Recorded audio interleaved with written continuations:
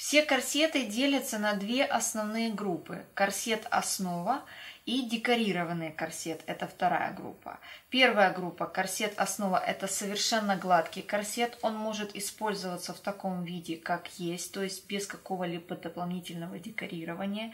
Либо может декорироваться кружевами, накладными цветами, драпировками. Некоторые из них я вам сейчас покажу. Итак, перед вами сейчас корсет основа, совершенно гладкий.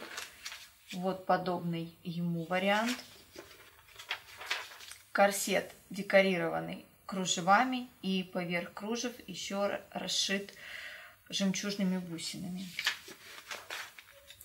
Вот кружевной корсет и поверх него, поверх кружев, вернее, расши, эм, пришиты накладные цветы и в серединку цветочков еще пришиты бусины.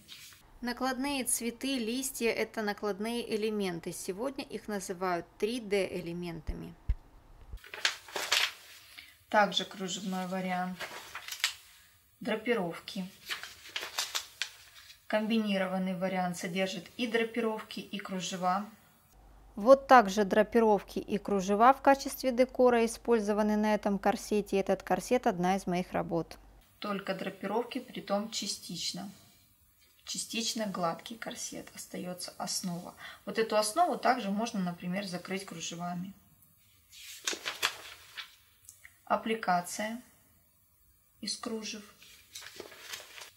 вышивка, машинная вышивка.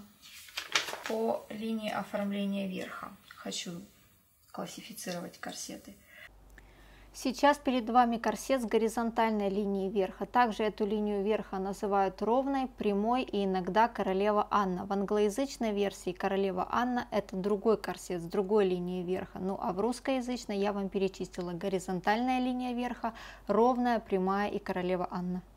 Сердцевидный вырез. Сердцевидное оформление линии верха. Это оформление линии верха также называют сердцевидным вырезом, но я его в процессе курса буду называть вырезом лодочка. Я и обучалась, изучая его из использовали такой же термин лодочка, потому что он все-таки отличается по центру от э, первоначального выреза сердечка. Нету вот этого острия по центру, это острие сглаживается и немножечко иначе строится. Поэтому все-таки для того, чтобы мы с вами могли друг друга лучше понимать, я буду называть этот вырез в процессе этого курса вырез лодочка. А в свадебных салонах, э, в русском и в английском языке это вырез сердечка или сердцевидный вырез, для того, чтобы вы понимали и были грамотными специалистами и не удивлялись, встречая разные термины. V-образный вырез со вставкой. V-образный вырез, фантазийные корсеты, то есть линия верха, вот так подобное ему оформление называется фэнтези или фантазии. Корсеты могут быть без линии плеча, могут содержать различного вида бретели или могут содержать кокетки с различными вырезами.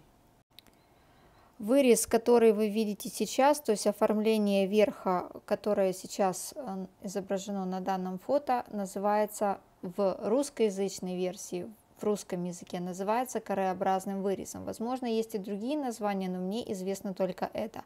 В англоязычной же версии это Queen Anne, то есть королева Анна, та самая королева Анна, о которой я говорила. Первая классификация, даже не одна группа классификации, я думаю, понятно. Также корсеты могут быть отрезными под грудью или с отрезной чашкой, или не иметь никакого горизонтального сечения – а иметь только лишь вертикальные рельефы.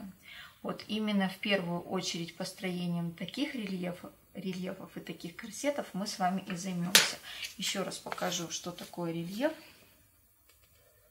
Вот я сейчас навожу красным цветом.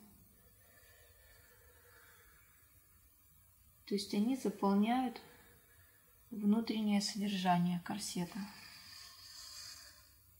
полностью наполняется корсет.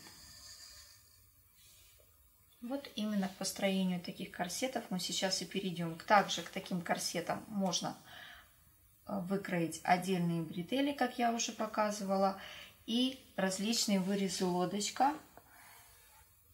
То есть кокетки с вырезом лодочкой по переду, с рукавом любой длины. Ну, в общем, обо всем по порядку.